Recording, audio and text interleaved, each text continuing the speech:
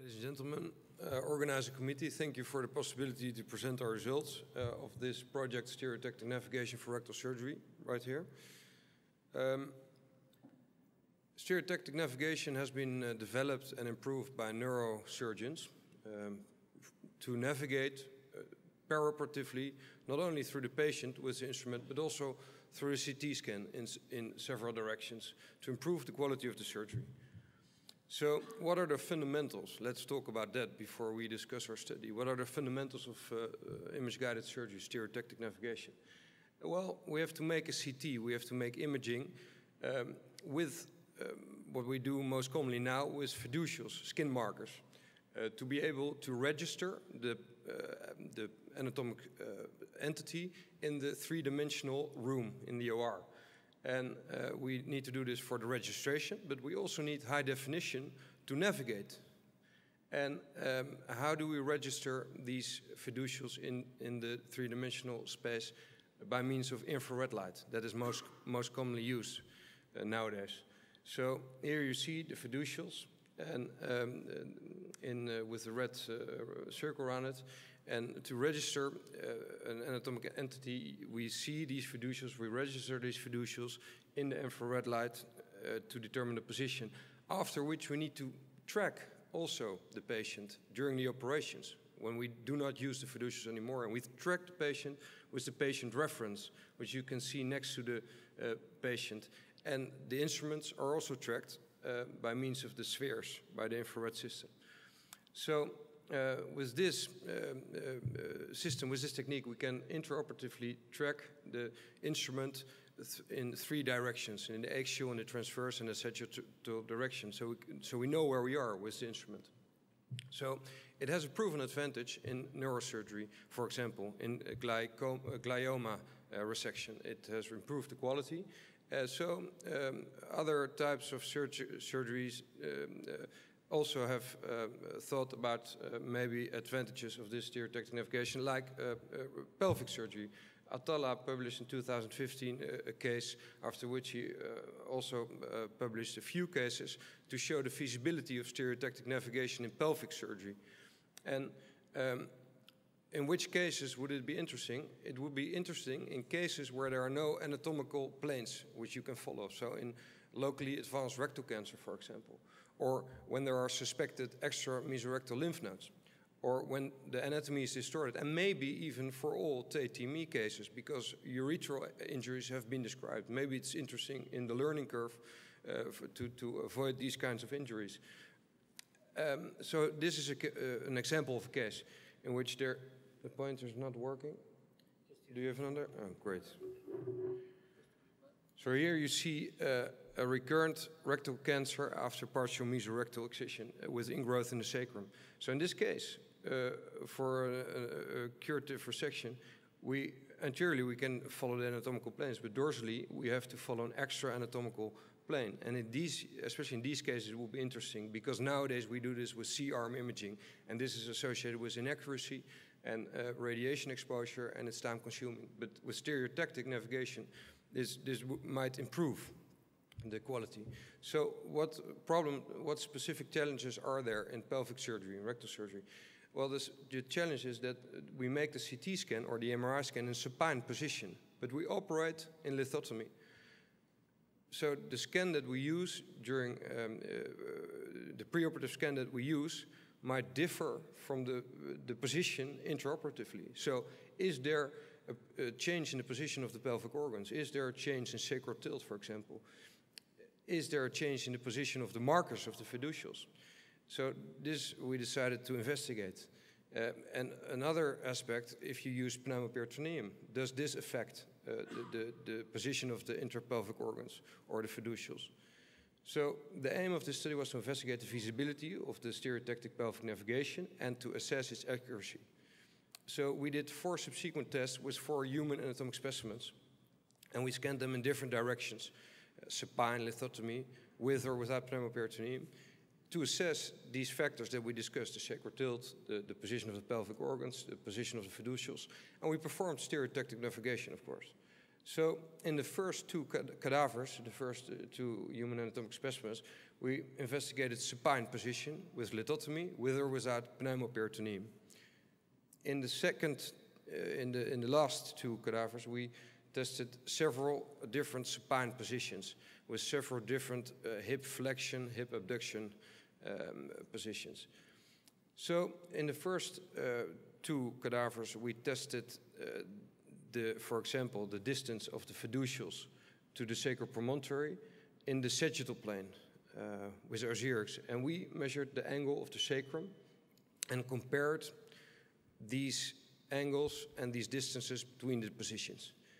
For the, the next two cadavers, we had a better way of analyzing this by means of a software slicer with which we could mark uh, uh, anatomical um, positions in the pelvis.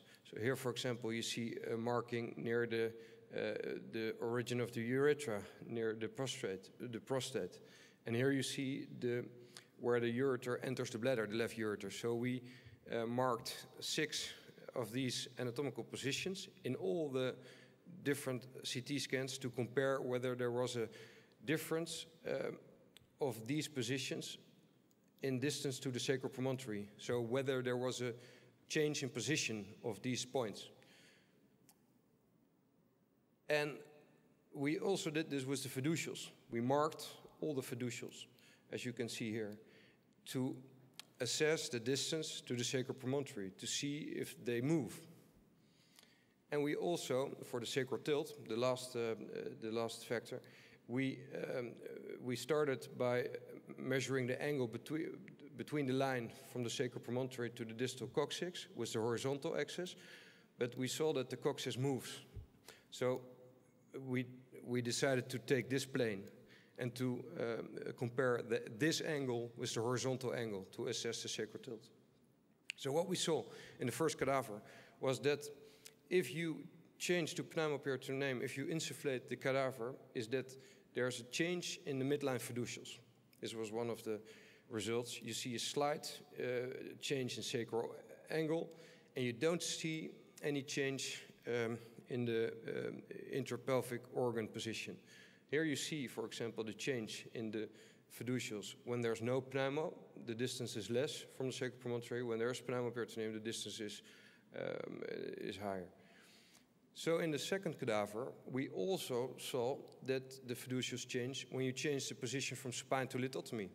This cadaver had a higher fat percentage, so maybe uh, uh, fatter patients um, are more likely between positions, uh, it is more likely that the fiducials change. So not only pneumoperitoneum induced change in the position of the fiducials, but also the change in position. So from these first two cadavers, we concluded that if you are doing this technique uh, in a non-hybrid operation room, you need to register the position of the pelvis in supine position without any pneumo. So in the scanning position where you scan the patient in.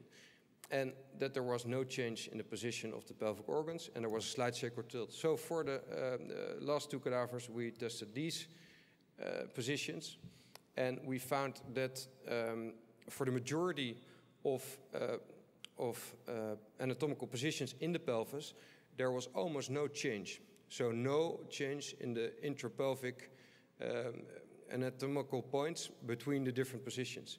And this we saw for the fiducials. We saw quite a large change for the fiducials, like we saw in the first cadavers. So it, it, it, it, it uh, confirmed the results in the first cadavers. Like you see here, there's a change in fiducials also without pneumo. And, and with respect to the sacral tilt, we saw that the sacral tilt angle changes less than one degree. So um, then we performed also uh, several navigations, and we saw that when using the Zeego image with lithotomy and pneumoperitoneum, we had a, very uh, good registration error. And uh, also using the supine CT, in which we scanned the patient with the leg straight, we had a, a good registration error. So this was associated with a good accuracy. And here you can see that we could navigate to the aortic bifurcation, that we could navigate to the uh, origin of the AMI, that we could navigate to the urethra. So, ladies and gentlemen, to conclude, uh, accurate stereotactic pelvic navigation seems feasible uh, for the hybrid OR, uh, but also for the non-hybrid OR. If you take into account uh, the, that the position of the fiducials change, so that you need to register the patient in the three-dimensional OR before you put them in lithotomy. So what is the future for um, stereotactic navigation? Well, uh, the hybrid ORs are likely to improve the accuracy of uh, stereotactic navigation.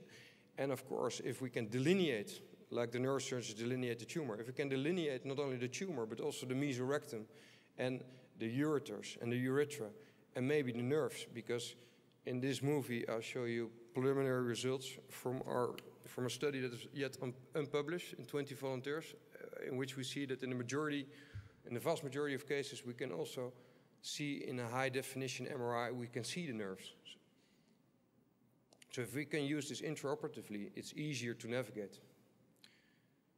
So here you see the mesorectum, you see the prostate, the ureters, you see the bladder, the urethra.